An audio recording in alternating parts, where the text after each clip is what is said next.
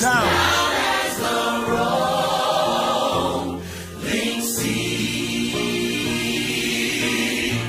I like this part right here. Come on.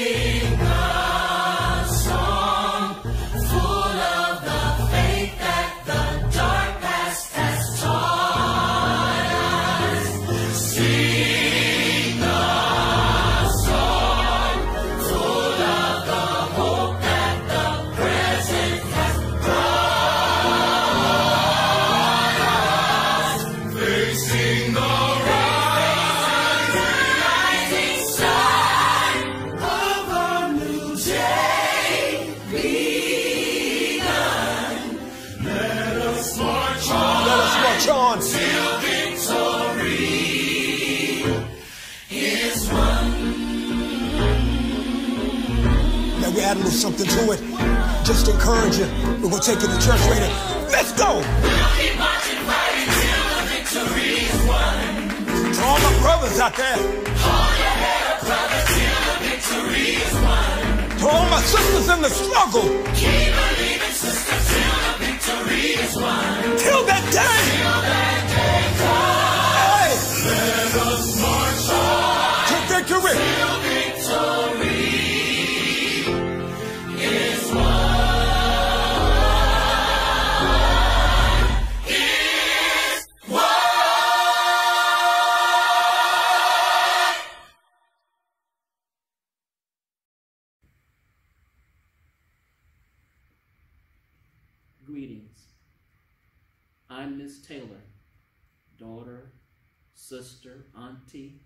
friend, educator, mentor, believer, advocate, volunteer, musician, aerospace educator, band director, Sarah, and I am a black woman. Black history is important. Our youth must know that we as black people are born of survivors. Black history is important. The Mid Atlantic Passage, enslavement, civil wars, Jim Crow, racism, both from the past and present. Black history is important. It is in these struggles and hardships that we have become generations after generation of survivors. Black history is important understanding, reading, and learning of sacrifices and achievement from those from the past and present. Charles Bolden Jr., Fire Chief Aubrey Jenkins, the Honorable Mayor Steve Benjamin, Louis Armstrong, Ella Fitzgerald, Mickey Guyton, Mae Jemison, Viola Davis, Victor Glover, and William Augustus Perry. Black history is important so that we do not lose our humanity during these very challenging times. Black history is important so that you, as young scholars, realize and come to understand the potential and many talents that lie within each of you.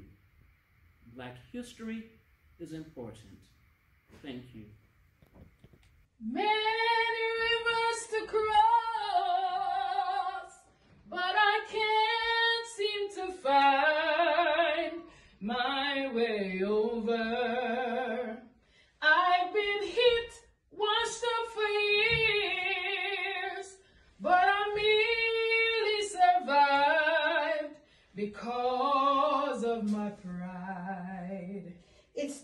rise. Stand and take your place. Shine like the sun. Your journey has just begun. Rise up. Stand like the brave. Rule your destiny. Be the best that you can be. The world is for your taking. Giving up is your only crime. I've written all the pages in history. This is your moment. This is your time. Now you know it's not an easy road. When you're black, too many road blocks, blocks, blocks, blocks. There's a winner inside you. Just waiting to answer the Answer the call, answer the call. You've heard the voice. Make your choice. You've got to follow and start believing for you now. Rise up. Stand and take your place. Shine like the sun. Your journey has just begun. Rise up. Stand like the brave. Rule your destiny. Be the best that you can be. Oh, oh, oh,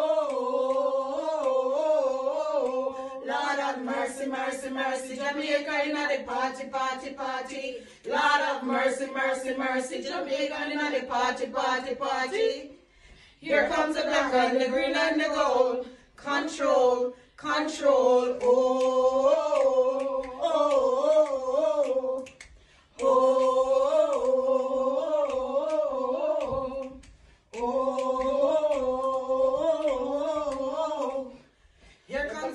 and the green and the gold. Control, control. Oh, oh, oh, oh. Lord have mercy, mercy, mercy. Jamaica let the party, party, party. Lord have mercy, mercy, mercy. Jamaica let the party, party, party.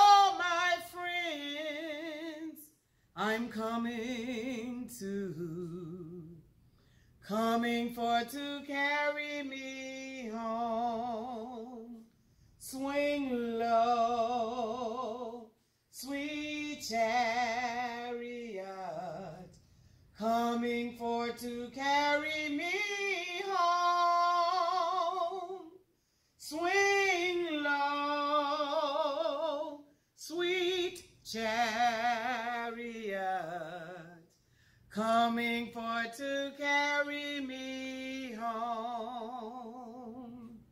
I looked over yonder, and what did I see? Coming for to carry me home. A band of angels coming after me, coming for to carry me home.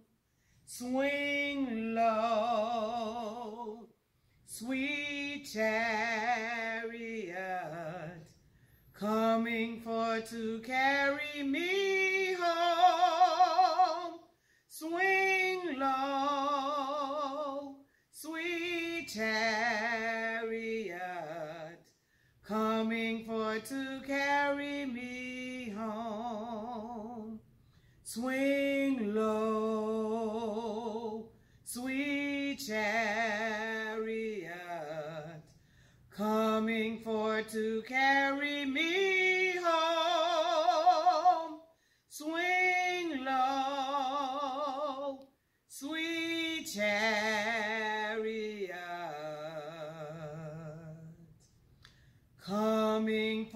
to carry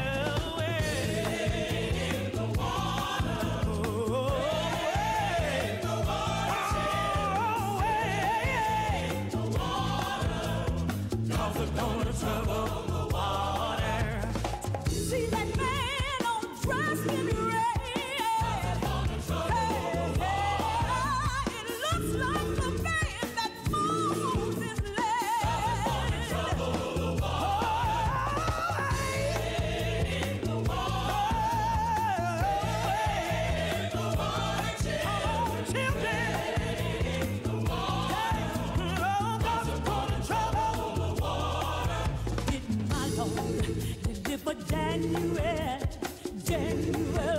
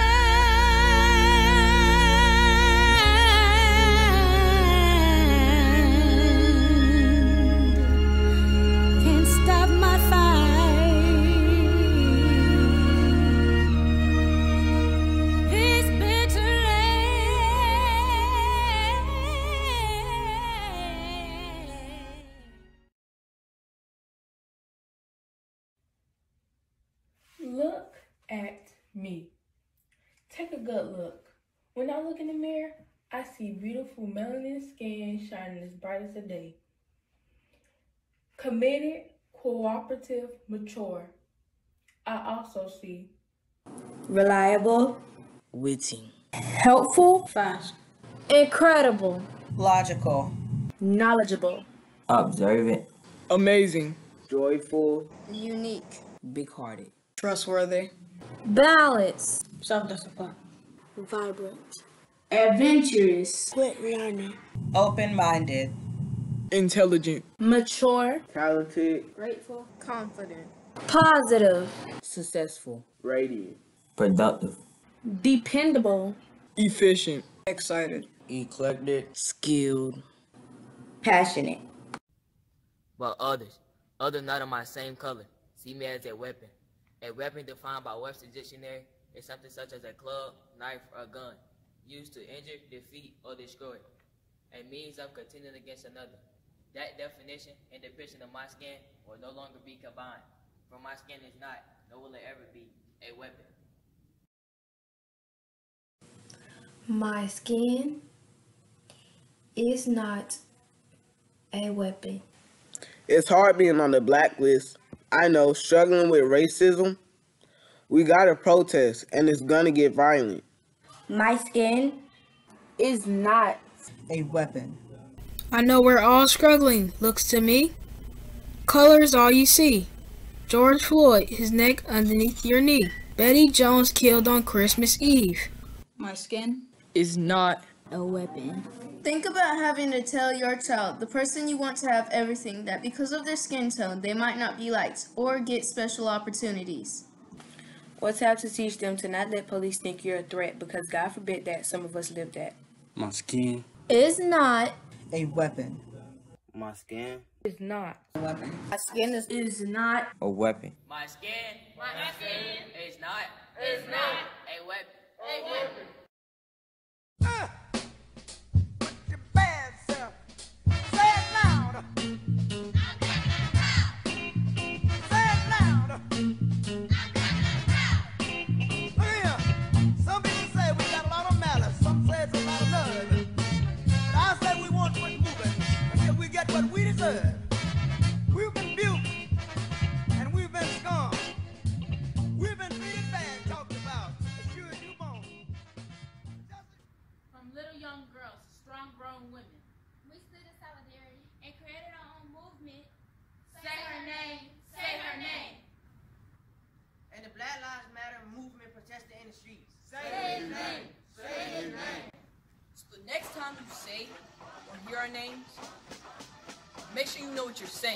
Because my name means outgoing, modest, accomplished, responsible, innovative. That is what makes me Omar. Joyful, adventurous, valuable, open, noble, team player, active, but you may call me Javante. Joyful, artistic, spontaneous, modest, intellectual, nice, exciting, but you can call me Jasmine. Achiever, noble, genius, emotional, lovely, but you can call me Angel. Judicious, amiable, youthful, logical, artistic, honest, but you can call me Jayla. Joyful, awesome, loving, intelligent, youthful, achiever, hopeful, but you can call me Julia. Amazing, zealous, zappy, ambitious, zippy, incredible, youthful, adventurous, hopeful, but you can call me Isaiah. Patient, responsible, imaginative, nice, clever, efficient. You can call me Prince. Joyful, adorable, dependable, amazing, but you can call me Jaden. Knowledge, unselfish, motivate, achiever, respectful, incredible, but you can call me Kamal. Diplomatic, emotional, mentor, intellect, team player, responsive, industrious, strong, but you call me adventurous. Big-hearted, responsible, adventurous, nice, dynamic, observant, neutral, but you can call me Brandon.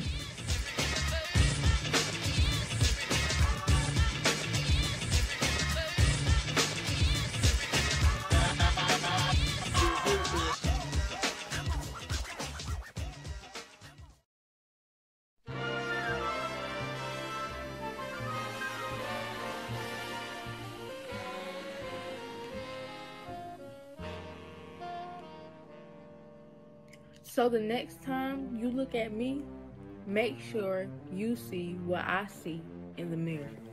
I am productive. I am exceptional. I am a queen. I am a king. I am powerful. I am a boss. I am brilliant. I am not your stereotype. I am not your Negro or anything lesser. I am black excellence. I am original. I am extraordinary. I am enough. I am more than enough. I'm living my best life. I am peace. I am amazing grace. I am creative and genuine. I am the manifestations of my ancestors' dreams. I am love. I am friendship. I am young, gifted, and black. I am resilient. I am authentic. I am a breaker of generational curses. I am love and I am light. I am effective and efficient. I am American. I am Black History, the present, and the future.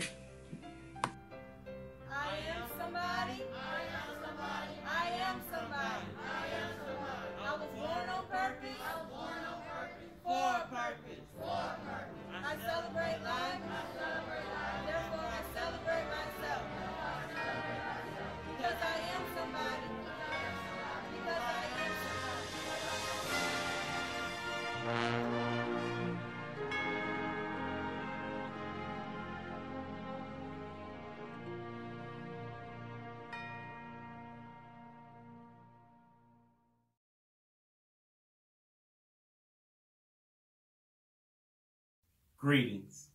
It is with great pleasure that I get to introduce to you today's speaker.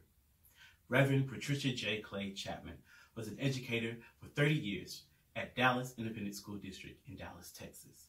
She taught several courses in high school science. She left the classroom to become an administrator in the Central Office of Professional Development and Staff Training for Dallas ISD. She spent five years training all levels of employees and was later promoted to instructional coach for Dallas Independent School District's science department, where she coached science teachers. Pat retired in 2009 after 30 years of service to the students and the parents of Dallas ISD. She is presently an adjunct professor for Dallas County Community College, El Centro campus. Pat received her undergraduate degree from Texas A&M University, formerly East Texas State University, Commerce in Commerce, Texas, with a Bachelor of Science degree in Biological and Political Science with studies and certification in the physical sciences from Texas A&M University, College Station. She holds a master's degree in education administration from Tarleton State University and a master's divinity degree from Perkins School of Theology from Southern Methodist University. She has done doctoral work towards her doctorate of divinity at Regent University in Virginia Beach, Virginia, and now has been accepted into the doctoral program at the United Theological Seminary. Pat grew up and received her foundation of theology at Smith Chapel AME Church. She has held many positions and also as a member of several churches, including Jubilee United Methodist Church, Warren UMC. She did her mentorship at Trailwood UMC.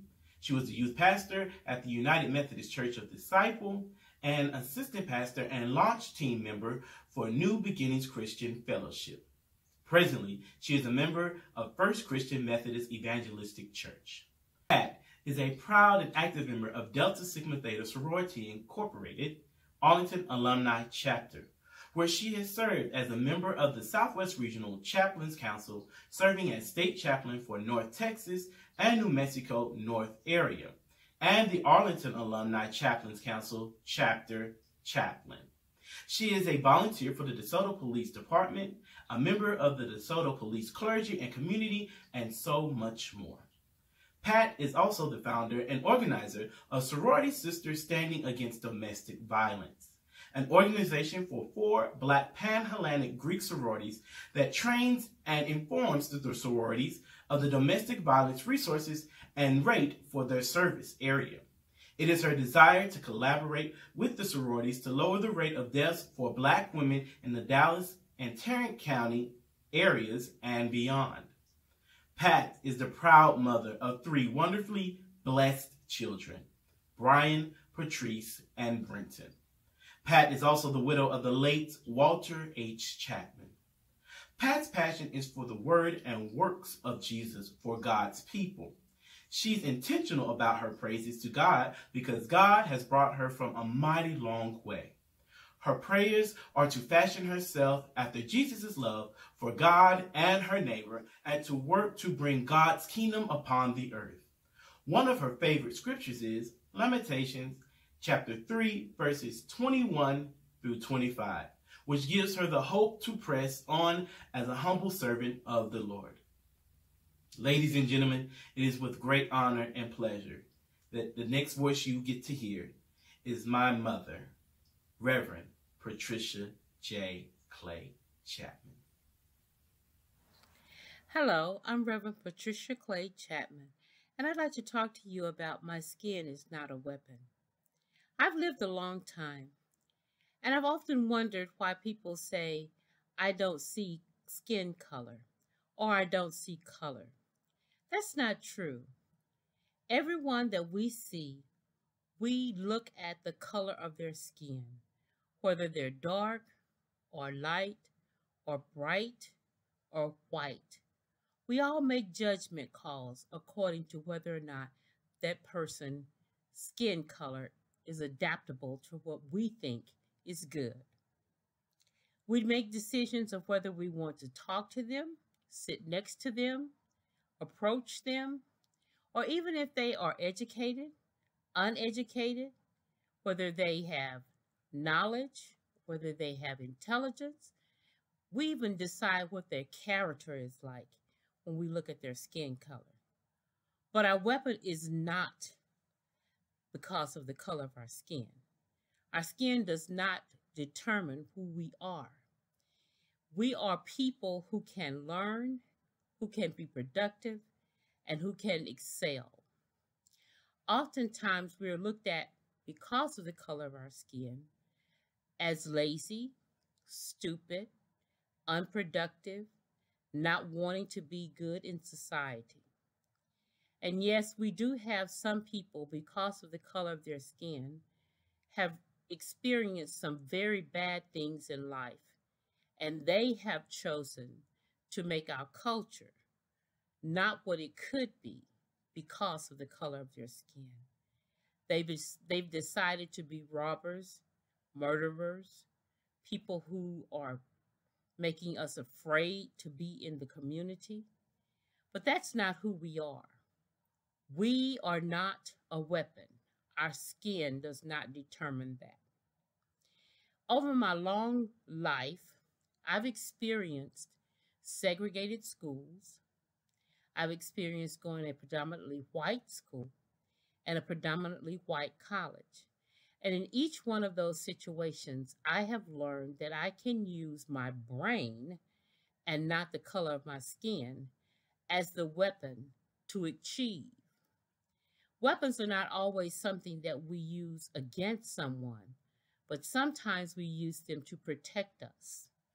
And so I used my education as a means of protecting me from becoming one of the people whose skin color was a weapon. I have oftentimes thought about what that education in each one of those situations did for me. In a segregated elementary and middle school, I learned that I could achieve and learn better if I did my work and I was consistent in my study. My teachers were very strict, they were very hard, they made sure that we learned everything we needed to learn. In the predominantly white Catholic high school I attended, I learned that I could compete with others whose skin color was not the same as mine, and that my education prior to high school was just as good as the education they received in the Catholic system. I later went on to a public white predominantly white college campus. It was an agricultural college at that. So most of the people that I studied with were, at, were white male. Now, being the only black female in a class with males who were only concerned with farming was very interesting. First of all, I was a biology major, pre dentistry requisite, with the double major of political science. Most of the time, I was the only black female in the room. Upon my arrival at the campus, I met with my advisor, and my advisor promptly told me I would not make it at this school. I wouldn't make it not because I wasn't intelligent, but because I was black. So I went on to matriculate. And at graduation, when I entered my advisor's office to get my degree plan signed saying that I had completed all of my courses, he was quite upset because I made the dean's list and he had to sign my dean's list certificates. His response to that was, So you made me out of a lie. I was courteous and said, Thank you very much, and walked out of the room. He didn't expect me to do anything because of the color of my skin. I later on went to graduate school, a predominantly white graduate school. I received my master's degree in education. And in that class, I became what was considered to be the resident spokesperson for the African American because I was just one of two in the classroom.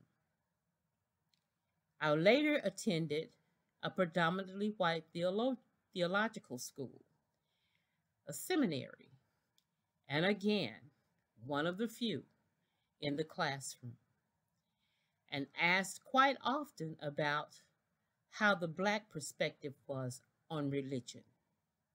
So I continue to encourage you today that you will take time to realize your skin is not a weapon. Your skin is who you are but not what you are. What you are is an intelligent human being, capable of being educated, capable of learning, capable of setting goals, capable of reaching high places.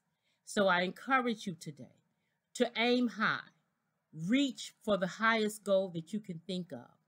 Whatever it is that you dreamed of becoming when you were a, a little child, reach for that Maybe you wanted to be a doctor or a lawyer or a professor or a teacher or a pastor or a principal or someone who helps in the community as an advocate for those who are less fortunate. My, my encouragement to you is that you reach for those goals. Set goals now. Set your goals high. Any goal that is worth achieving is worth working for. So, whatever that is that you said you wanted to be back in first grade, you can be. You can actually become that person that you said you wanted to be. Look for someone who's already in that profession and ask them, How did you obtain this goal of being the professional you are? It is so important that students today look for things that they are able to achieve and find ways to set those goals to achieve them. You may have to go to school longer to be a doctor, but it is worth everything that you do to become that doctor. You may not be a doctor of physical medicine or a medical doctor, but there are other kinds of doctors that you can become. You can oftentimes become doctors in areas that you study, such as sociology, psychology, other research that, that is done in the for the community. So we asked you as teachers, and I was a former teacher, to be sure that you set goals that you know will help you be the very best you can be.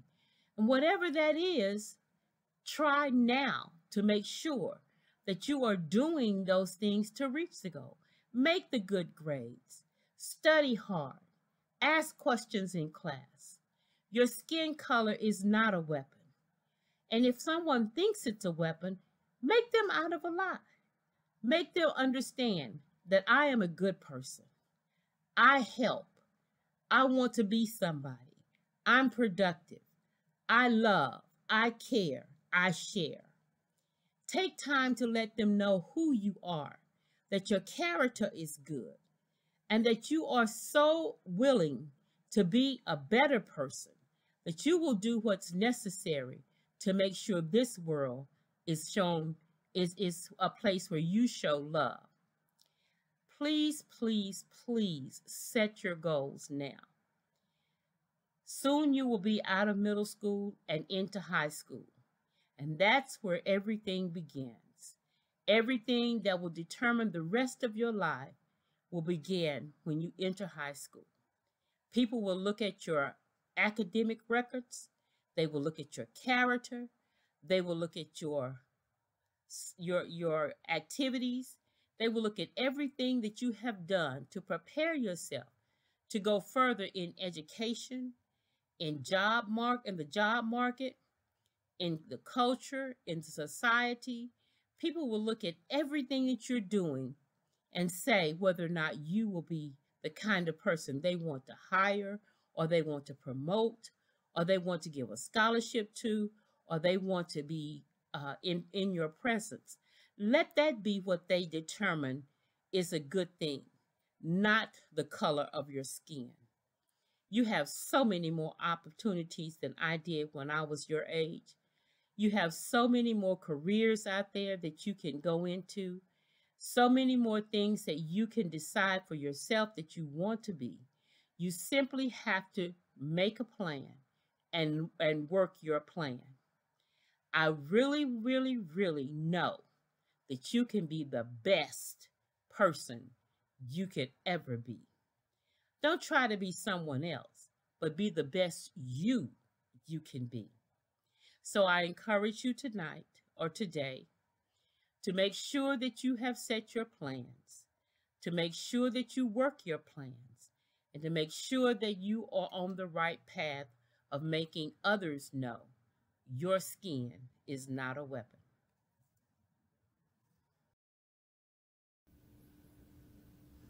Goodness, what a great, great performance from all our students.